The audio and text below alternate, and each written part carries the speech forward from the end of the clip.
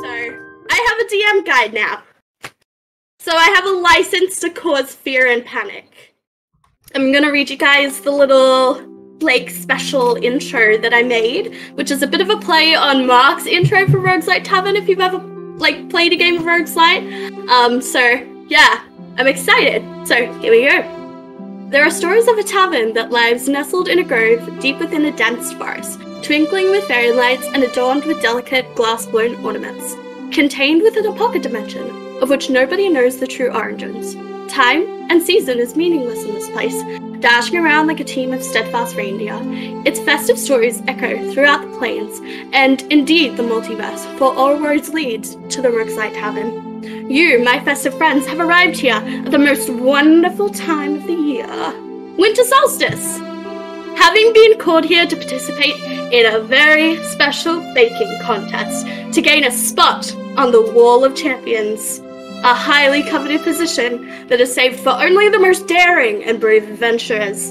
A jolly bunch, to be sure, all with glory, festive fun, and jingle bells in mind. Regardless of where you mailed your Santa letter or why you came to celebrate here, one thing is certain it would be wise not to underestimate the stories you have heard of this baking competition. As this is still the Rogueslight Tavern, full to the brim with vicious beasts, terrifying magic, and conniving trickery.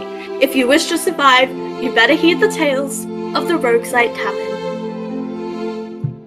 Joining us on the stream, our special celebrity guest, the Weefling Warlock, Holland from the Dungeon Boys. Jazz hands.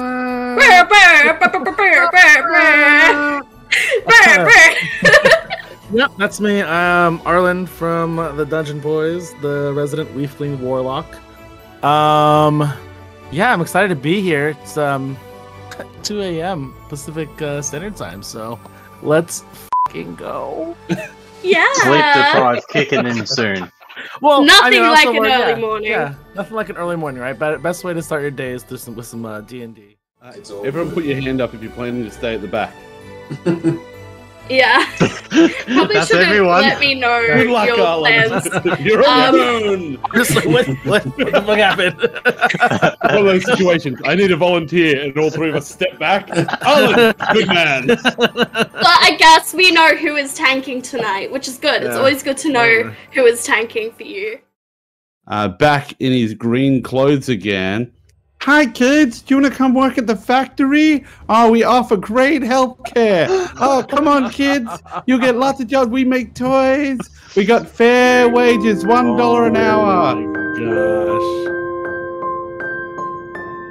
gosh.